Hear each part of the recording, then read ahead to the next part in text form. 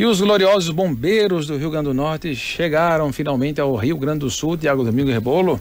Já tem vídeo aí dos bombeiros, quem está acompanhando no YouTube, chegaram, eles saíram daqui levando diversos equipamentos, barcos, numa engenharia que realmente teria que ir, ou, ou arrumaria um avião daqueles, né, aqueles aviões é, estilo nós assim, Rebolo, mais cargueiro, né? Mais cargueiros, assim, com chassi privilegiados para poder levar isso dentro, ou por terra, como eles foram aí e chegaram hoje lá e já estão, já temos aí até um vídeo do comandante, vamos colocar aí, é, saudando o, a chegada. O comandante geral do Corpo de Bombeiros do, do Rio, Rio, Grande do, Sul, Sul Coronel Estevão, não é Avenida 9, viu gente? É, agradeceu a ajuda do Rio Grande do Norte, vamos ouvir. Vamos lá. Do Corpo de Bombeiros Militar do Estado do Rio Grande do Sul, gostaria de agradecer por demais a presença dos bombeiros militares do estado do Rio Grande do Norte, os quais estão aqui com o propósito de auxiliar, estar ao lado do povo gaúcho nessa hora em que mais precisamos.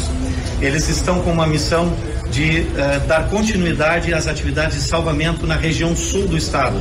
E tenho certeza que com uh, a congregação de esforços, com a, a, qualidade técnica dos bombeiros militares, como, como é de praxe nos bombeiros militares de todo o Brasil, nós conseguiremos sim dar uma resposta adequada à população gaúcha.